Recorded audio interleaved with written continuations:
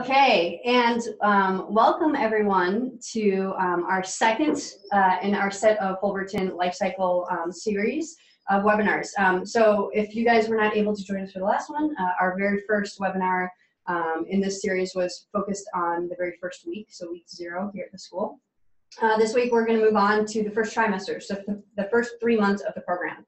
Um, so joining me we have uh, some friends here you guys can all see. Um, what I'm going to do is uh, I'm going to have you guys introduce yourselves. Let us know what cohort you're in and also like what the general start date for that was so people know kind of how long you, you've been in the program. And you can go. Cool. Uh, my name is Sami Azad. I was in cohort seven. We actually started on September 4th last year. Okay. Uh, I'm Spencer Taylor, cohort five. We started January 2018. I'm Becky. I'm also part of cohort five. We started last year, January 18th. Awesome. Okay.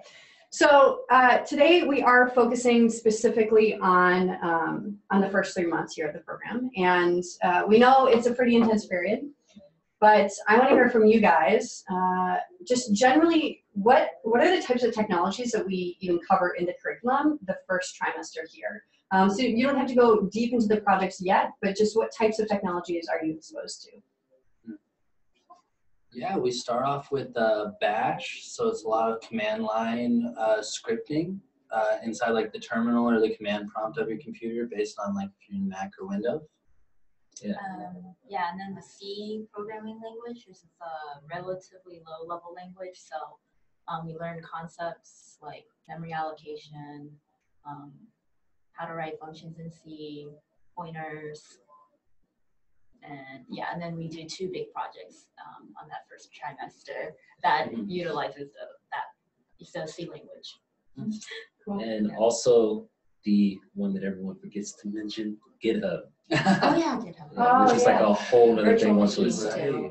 Definitely. Vagrant, GitHub, um, good Git practices. Vim and Emacs. Yeah, Text text editors, editors. Text editors. Right? Yeah, Yeah. there's projects on Command that. line text. Okay, what's your favorite text editor? Emacs. Emacs. Oh, don't leave them. For those of you who don't know, there are two camps usually, Vim and Emacs, and then the Mm. rare people who use Nano. They're, they're. Okay, why why why Emacs? Um, well, we were introduced to, I was introduced to Emacs in one of the tasks for applying to Holberton. Yep. Yeah. So that's all I knew before here. Um, I try using both. Like Vim has like two modes, and it's Yeah. super confusing. Uh, I like Emacs because like once you understand like all of the keyboard shortcuts, Mhm. like moving around in Emacs is like so fast and intuitive, like switching files and all that. Intuitive. Yeah, it's great. Definitely. All right. Emacs has a lot of But customizations too, like Vim, packages. I would say, I kind of feel like I should know Vim because Yeah. if you're into DevOps, they do use Vim a lot. Mm, And actually, that's one of the requirements um, in a lot of cases.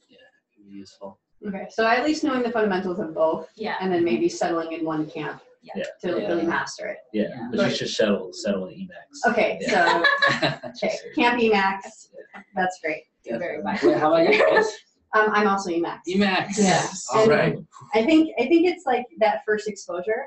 Uh, actually, when I started my application process as well, uh, just because a, a random friend of mine told me about Nano, I didn't know anything about text editors, so that was he was just like, "Hey, you should check out Nano." Mm. So that's what I was working on at the very beginning. And as Oh. soon as Julien Barbier found out, he was like, "Oh no no no no!" So um, if you guys have taken my tech challenge w- for the level three, there is a question in there where you have to install Emacs, and there's a joke in the question title about Nano. So that's Mm, nice. That's why. um, Little history. a little Easter egg. a little Easter egg for you. Um, okay, so we cover a lot of stuff, uh, particularly I think in the first couple weeks. So some of that GitHub stuff, um, some of the vagrants, um, and, and the bash stuff. Mhm. But what is like the meat of the first three months? Like, what is the main technology that you guys use? C. C. Okay. Yeah, I alluded to that. Yeah. Okay, why why C? Um, so C is like you have like higher level languages like JavaScript and Python and all that um, that most people use. Mhm. But when it comes to like learning fundamentals, C is like so close to assembly code, which is like the machine language, Mhm. that you don't get like a lot of functionality like given to you. You have to like do everything on your own. And that includes like if you want to print to the screen, you have to figure out how to like write that code to make that happen. It's not just like you don't just get a, a full like tool belt. You have to like build the tools yourself. So you get like C's like this empty tool belt and you're learning how to uh, make your own tools to do the job. Okay. So then afterwards, when you're learning higher level languages like Python, Ruby, JavaScript, um, you're okay with dealing with abstractions because you already know what works um, on the lower level. Mhm. Yeah, it gives you a look inside the computer itself because even Linux is written on C, right? Mhm. The, a lot of Linux is written on C. So when you're like typing in Bash or even doing anything Linux related, you kind of get a feel for what's actually happening behind the scenes because you know C. That's awesome. Yeah. Um, okay, so what what does a project even look like here? So you you have these projects in C or whatever language or tool. What how does that flow go? What happens? Like what is an actual project like here at the school? So the project gets released like midnight of the day that it's due. Um, in the beginning, you have a lot of like one day projects, but they can become two, three day. Even some are a week or like big ones are two weeks. And so you have it's basically just a consort a consortment of tasks, and you have to complete those tasks by the time the the, the deadline comes up. So like yeah, like piggybacking off what Sandy said, like the project drops. Um, we get like a we find out what the project is about. For like C, it could be okay. Today we're going to do like for loops, or today we're going to do pointers, and then there will be a bunch of like tasks that need to happen um, that will essentially like teach you how to use that or like how to do whatever today's topic is. So if it's for loops, it'll present you with a bunch of different like loops Mhm. And uh, you have to figure out like you have to be able to write the code in order to make that happen and you also get like a list of resources at the beginning too Yeah. yeah. Yeah, so like um, part of becoming a good developer is to utilize the documentation and look up resources on your own. So um, we give you or they give you a uh, list of readings in the beginning. So then you read through it. So you kind of give an idea about the concepts, and then you could go on from there. Um, and then there's a framework that you follow. Uh, generally, it's like go through the reading. Um, if you can't figure it out from the reading, Google it. Um, and then uh, like and then try to go like mull over it yourself and then eventually ask a peer ask a ta ask very very not, not- rarely very rarely do you ask the staff but, but uh, Usually, yeah, like you hardly like it's not that you can't it's just right you never get to that point. Yeah. Because there's always usually you find out. Yeah. there's someone in this building that has the answer before you even like have to get to the staff. And that's how it's like in a real workplace exactly. Mm-hmm. Mm-hmm. Yeah, you know, as the CEO all the, all like hard hitting questions. unless julien is looming behind you. Yeah. and then he's like oh what's this going? What are you doing? I'm And then you answer the question, and then depending on if it's like mandatory or extra, like it'll be like, oh, it's extra. No, you can figure that out. yeah, yeah, yeah, yeah, oh, really? I have not asked him the question. Um, okay, so you mentioned you have these projects and you have these deadlines. Yeah.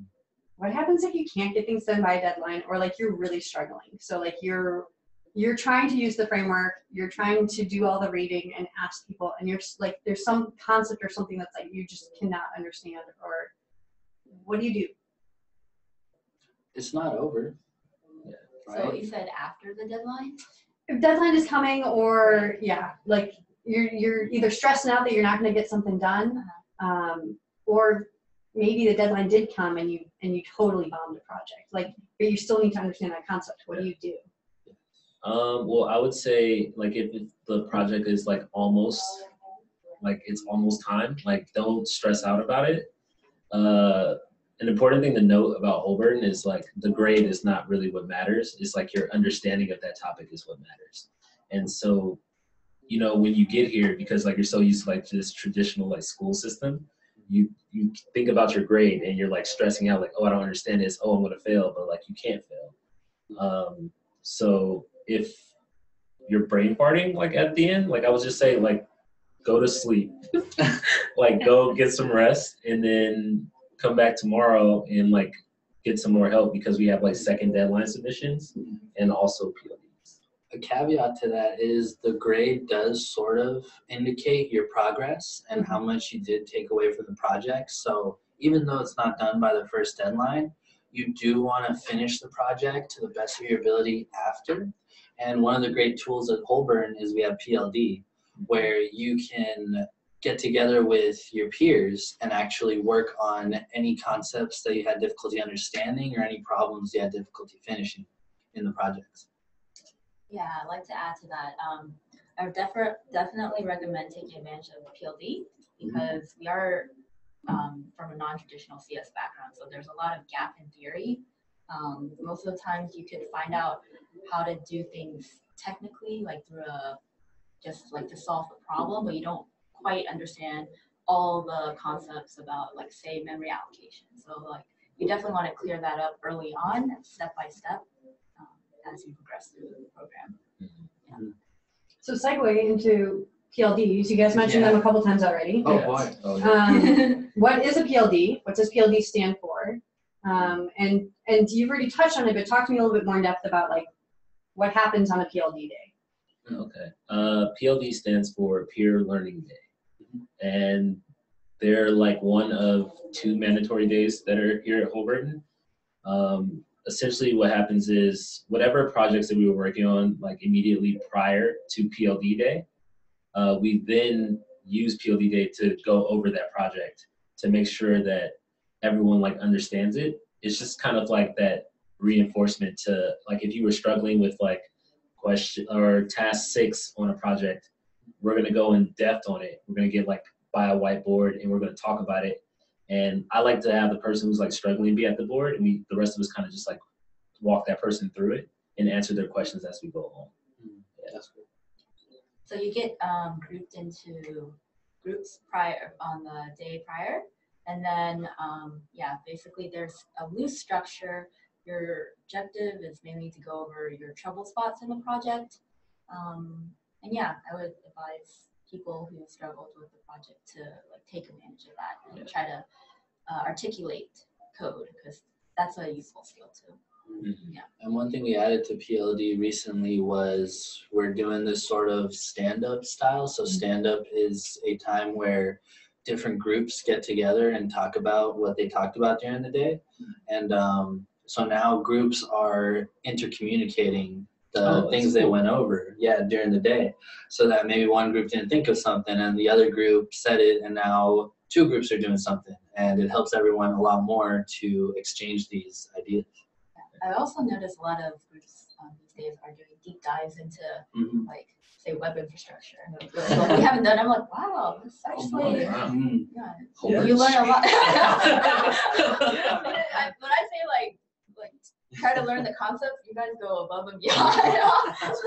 Yeah, Yeah. That's really cool though. It's ever changing. Yeah. Holberton's curriculum is very adaptive. Yeah. So talk to me a little bit about this. So Spence, you're like, what? You're just a couple months ahead of Sami, Yeah. right?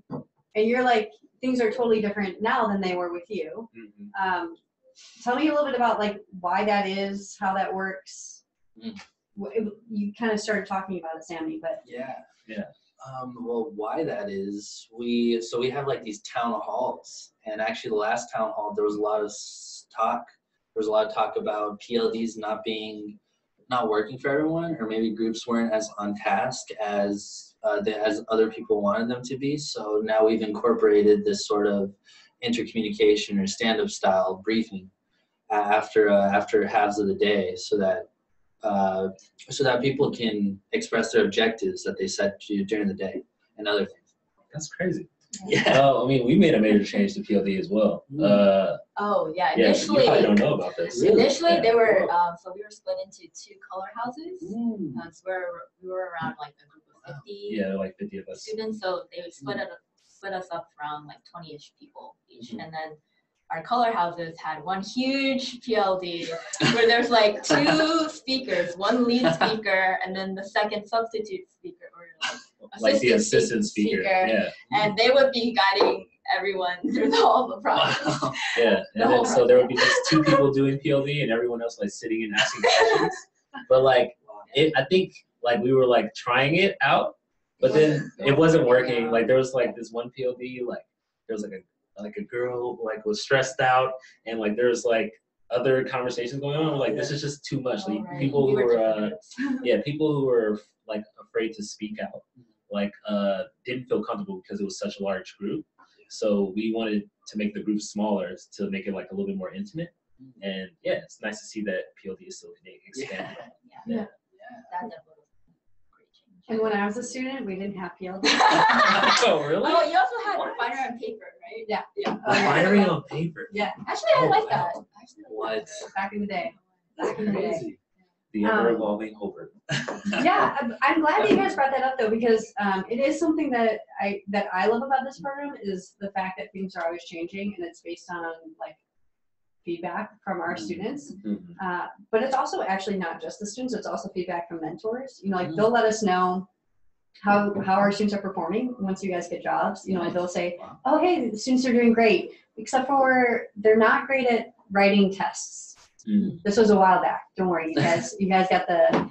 You guys got to work on tests, but this is before we had like um, testing as like part of some of our projects. Mhm. Yeah. And so um, we take that feedback and we say, oh yeah, like that's really good feedback. How how can we change so that students can gain that experience? Oh yeah. Uh, and so th- this school is ever evolving. It's based on feedback. It's based on iteration, trying something, Mhm. seeing if it works or not, and then I, I it's kind of like agile development, right? Oh yeah, like definitely.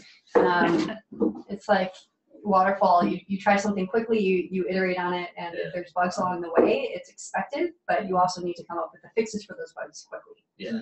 So mm-hmm. each cohort is a sprint. Yeah. Yeah. Pretty much. That's cool. Yeah, and, and the staff is always talking about being a, an open door policy. So feedback about the program, I've I've always heard feedback is always welcome. They're always asking for feedback after PLD, mm-hmm. after refinery, and just like all the time. Yeah. Just be cordial about your feedback. Mhm. Uh, don't be mean. you like you give you draw more bees with the honey than vinegar, as my grandmother says. Mm. Always say hello to Keon first before you ask him. Exactly.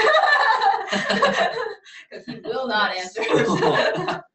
But it's also a skill, right? Like once you're working, you know, and you feedback to your to your manager or to you know like someone higher up, that, that feedback definitely should be welcomed. But you need to also approach it professionally, you know, like. definitely. And so I think we try to mimic that here as well. right. Um, I think yeah, with stand up, how to like present yourself to people and just Oh, yes. the, I think the whole ecosystem of Holberton is trying to train you to become a professional software developer, like in all aspects, soft skills included. Mhm. Definitely feels more like a workplace than a school. Right. So I, yeah, I would say pay attention to that too. Not just the technical. Yeah. yeah. Everything at Holberton like happens for a reason. Mm-hmm. and it might not be like readily apparent, but there's a purpose. So like, if you get frustrated by like the checker, like there's a reason you're getting frustrated by the checker. Oh, fuck. yeah. maybe we'll go into what the checker is uh, the next one. Yeah, maybe. We'll have some more time. I think we need a whole webinar just dedicated to it. Okay, well, if any of you audience members are curious about the checker, tune in next week. Yeah. um, okay, so I do want to move on because I want to talk a little. I want to make sure that we can touch on some of the projects you guys actually did in the first three months. Um, I'm also going to take this opportunity for anyone who's listening. If you guys have any questions, feel free to put those in the Q and A, and we'll get to them at the very end. Um, but my question is: There's two big projects that you guys do in the first trimester. The first one is printf. Yes. The second one is shell Oh, Yes. before we get to what the shell is, talk to me about what printf is, both the project and the actual concept of printf, Mhm. um, and what your like experience was of that project. Sami, I'll let you take it. Oh boy, yeah. Refreshing your memory. I, I guess I did printf the most recent, so I, I I can speak to like what it's like now. Maybe maybe cohort five had a different experience with it, but um, See? I mean, uh, very basically, printf is a function uh, used in C and also Bash. I think uh, a command in Bash and a function in C that is it's print formatting. So it formats the statement you want to print where it is the standard output. Standard output is a term for what you see on your terminal, and so we are tasked in this project to create our own printf to code it in C. And um, I actually the most significant portion of this project is as our first pair project. So this is where we get introduced into peer learning, uh, the most intimate way possible because you have to create this project, you have to do this project and create this function with someone else in your cohort, and it's ra- totally randomly picked, and uh, that that totally throws things out of order because until now you're doing it by yourself, and uh, you have to learn to collaborate using online tools or Slack, which is our messaging platform. And uh, yeah, coordinating a project with another person is actually more difficult than you think. Yeah, merge conflicts. Yeah, They're real. number Yeah. one, number one. Yeah. Uh, Issues. hmm um, so how was your experience Yeah, With Printf, with Print? It was actually really good. My partner was very on task, just like I was, and uh, I really enjoyed it. Um, yeah, so the, probably the worst thing is very differing personalities and different differing ideas about presence and like physical presence versus remote. That's also something you get exposed to, which I think in the workplace is also significant. I uh me and my partner have like two different ideologies like when it comes to like planning yeah Kevin.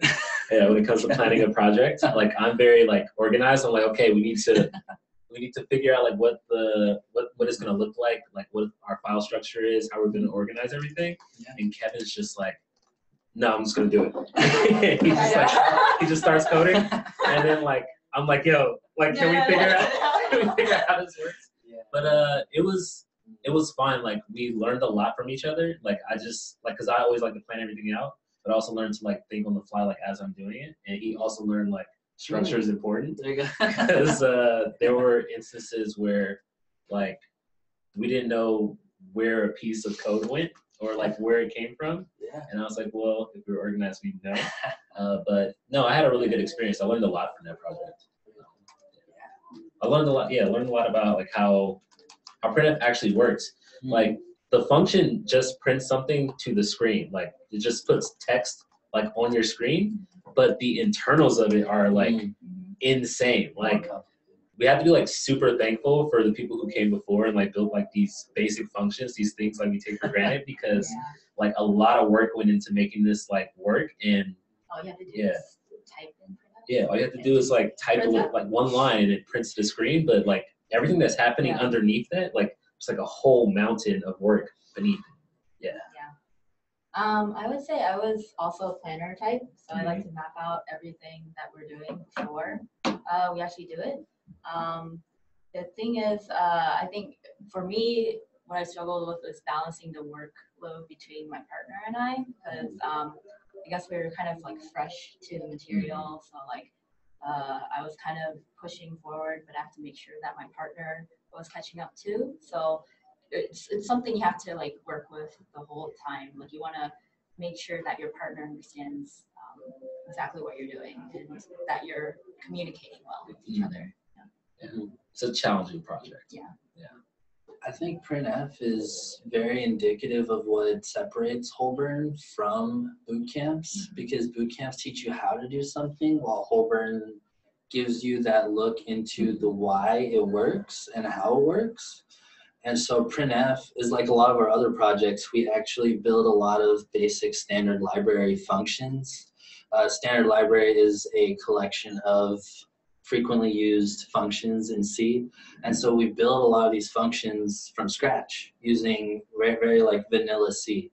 And so printf is the biggest project like that. And so, uh, yeah, it really shows how Holberton is trying to teach you how things work, not just what to do. yeah very true Why is that important? because in the end you'll I would say it extrapolates to a lot of a lot of other concepts. If you figure out how one thing works, usually you can figure out like, oh, this makes sense because this is the underlying reason, Mhm. and then you can easily uh, make sense of like higher level um, concepts. Yeah. Another benefit is like once you know how something works, Yeah. and there are a lot of people who don't know how that works, and the fact that you do like kind of sets you apart in a way. Mhm. Like if you tell any like if you like I go to a lot of meetups, like if you go and you tell people like, oh, what was your first language? And you're like, I learned C. And they're like, "What? You learned C?" Like they're shocked and surprised because like everyone who works in this industry knows that like C is like like the lowest you can get, Yeah. and they're like impressed that you know how to like manage your memory and all of that. Like that because otherwise people just use like library functions from whatever language they're using, but they don't understand. Like they know what it does, but the fact that you understand how it works, like just kind of makes you a stronger programmer. Mhm.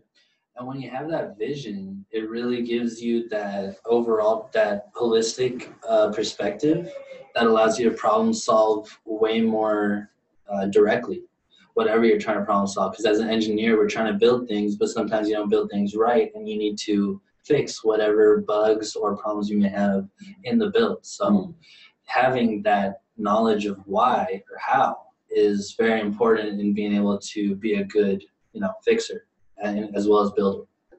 Yeah, that was good, Sam.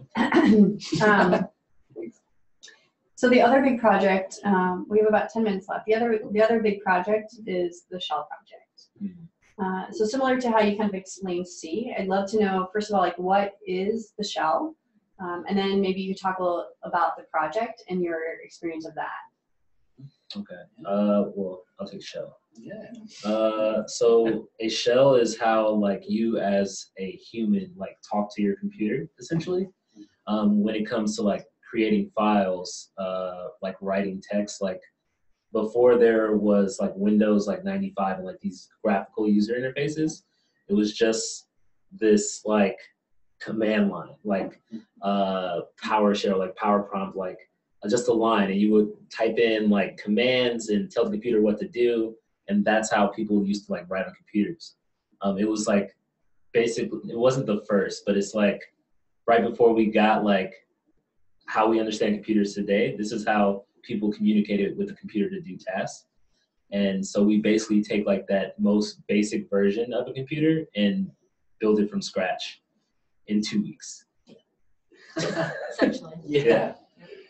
and it's yeah. another partner project, Yeah, right? And it's Oh, actually yeah, it's Yeah. like double printf. uh, I say it's like five times per Honestly, I think that was the hardest um, to. Yeah, that one like I like Monty. Mm, I did Yeah. yeah, not much. like We'll- we'll, get to we'll Monte. that- we'll get to that one next- next, yeah. but uh shell is like shell is a doozy like it's a culmination of it's basically the first three months like that's what shell represents like if you pass shell like you've gotten over the heart, like the largest hump in the program. This is the hardest project Yeah. like once you understand this project everything else is like a piece of cake But, like consider like considering i mean there are, i can't speak for everyone but like yeah this project like we got a week break after and i needed it. Like i felt that Yeah. like i really felt it. But uh it was very rewarding like when it works like you'll hear people like screaming like at the top of their lungs because they're so excited that they got it to work oh yeah Yeah. a lot of memories yeah We passed like all green checks on the first go. Oh my god. Yeah. but Um, more about the check. relating shell to like printf printf is kind of like a cog inside of shell because shell has this very basic foundational engine and then you build the peripherals to it so kind of like a car you build the engine then you build the body then you build the tires then you build the steering wheel and you put on the interior shells like that like you start with the engine and then you build out from there and printf was just like a wheel compared to shell Yeah, basically yeah Yeah. In terms of um, teamwork, I would say like that was a it, it was a lot better. Like progressively, you'll find yourself um, getting better with collaborating as you do the larger projects that we do, Mm. um, because you'll always get paired with a partner. So I'd say yeah, it's a skill that I personally deliberately try to improve on. Why why do you think that project is in the curriculum? I actually heard that um, most college computer science courses have this project too. So I feel like Mhm. It utilizes lower level concepts and then um, allows you to make some a working product that's not a web app, but it's Yeah. a functioning like booster. Like, oh, I made something that works. Wait, software engineering is more than just web apps? ah, you didn't know that? no way. All sorts of things. It is. Yeah. Yeah. I Yes, yeah. Yeah, sorry. Oh no, I think it's in there because like everything that you learned in three months, like managing memory, pointers, uh, all of that like happens inside of Shell, and it's taking like those concepts, like those programming concepts, and like fully using them in the like simplest application of of like a computer. Like you're basically building a virtual like interface to talk to your computer. And yeah, it's the perfect project to prove that you actually understood everything that you learned these last three months. Yeah. Yeah, and, and uh, Spencer is very right. That's not. It's not just like. It, it, it is. It's very holistic about everything we do in Holberton, but I also think it's your first look into building like a product or something that's functional that you can put out into the real world because you're collaborating, you're building something people would use, you're using all the knowledge that you gained until then, and that's like everything you do in industry. I think. Yeah, our curriculum is very cumulative, so it's like everything you learn, you find out that you can apply it to to produce something working, a Yeah. final product. essentially. So cool. We could probably continue talking about the first, the first trimester for, for quite a bit longer. Um, Probably for a whole trimester. yeah, probably. Um, but we are, um, we're at that point where I want to address um, some questions from the Okay, audience. Yep. sounds good. Um, we have one right now. Um, I'm also going to just do a public service announcement announcement for anyone who is listening. If you have any questions, feel free to shoot those to us, but try to keep them specifically geared towards the conversation we've had um, or like the first three months of the program. If you have other questions, uh, you can email them to me. Um, so I do have one from Javier, and Javier wants to know uh, what your backgrounds are before entering Holberton, um, and had you had any experience coding before? Uh, Yeah. Go ahead, Becky. Uh, well, I was a pre-med uh, student in college, um, and then I graduated with a biochemistry degree. But I, uh, towards my second semester in junior year, I started to veer towards math and computer science. Um, so then, after I graduated, I decided to pursue computer science, and then I found Holberton. Um, I was a chef before this. Uh, I had a little bit of prior experience. I like tried to make a video game with C once, so I knew I knew about pointers and other things, but that was like probably like five years ago, so it had been a while. But yeah, Yeah, um, I recently graduated Cal Poly with uh, with philosophy, so that was my major in college, and I've always been sort of exposed to coding. Like my early education actually had some coding in the curriculum, but most recently I've just like I learned some Python, but I had no knowledge of C whatsoever, and uh, I- and and the first three months were not impossible. I thrived. Yeah. yeah, I did. Yeah, I definitely found the thing that I wanted to do when I got here. Yeah, like this is like Holberton is like the best, Right. the best thing for me. Yeah. This question wasn't asked, but I'm curious. I always like to know what what made you guys decide Holberton over um, pursuing a more traditional path or something like you you had mentioned boot camps earlier or something online. What was your kind of catalyst for choosing this school? Um, so I had the option to stay for another semester to computer, uh, complete a computer science degree, but at the time, twenty thousand dollars seemed like a lot. But like, so Holberton doesn't have doesn't have upfront tuition. Um, you pay like seventeen percent of your salary over the course of three and a half years, I think, and then um, so that was appealing. Second is that I also looked through a lot of reviews through Course Report and SwitchUp, I think, and um, Holberton's ranked really high. It's it's reassuring that they're investing in their students because they're you're not required to pay upfront, and then it's also um, project based. So a lot of what employers look for is that you can actually create um, apps or like working products to to showcase. And um, since Holberton's like every day you're doing a project and you're doing like larger projects within the curriculum, it was kind of uh, it was what I was looking for essentially. It's essentially the same for me, Yeah. basically. For me, it was more the most so about the fact that boot camps want sixteen thousand up front, and I didn't have sixteen thousand dollars in the bank. And Holberton seemed like a good fit for the peer and project based learning, Yeah. but also because they're like they don't get paid until I get a job, so like there's like that that vested interest in me like succeeding. Definitely all of that um, is pretty good. Uh, I had found Holberton through some different avenues, but originally I was doing pre med like Becky, and I just decided that I didn't want to do that anymore, and I went towards something I was interested in, computers. And I was gonna go for like a master's. I was gonna pursue maybe like a higher degree and do it in a computer science focus. But when I found out about Holberton, I started doing my research not a lot of boot camps do like a two year program that really does a deep dive into a full stack software engineering curriculum. So that appealed a lot to me, like to get that comprehensive mm, education. Definitely comprehensive. Mhm. Yeah, it's like more because most boot camps focus on specific technologies. Learn React in three months. Right. And it's like whereas Holberton is like learn low level, learn data structures, algorithms, and then high level, Build um, web servers. build a, yeah, even DevOps, sysadmin stuff too. Yeah. So yeah, it's definitely holistic. Yeah. All right. Well, I think those are all the questions that we have right now. Mhm. Um, so I just want to thank you guys so much for joining us. Um, for any of you guys who are joining us um, from the webinar, um, in two weeks we'll be doing our next set, uh, which will be focusing on the first year here at the school. So we'll have some people who've gone through the entire first year curriculum. So we'll talk a little bit more about what that was like. Um, and uh, just thank you so much for joining us. Thanks, guys. Thanks. Thank you. Have a good one. All right.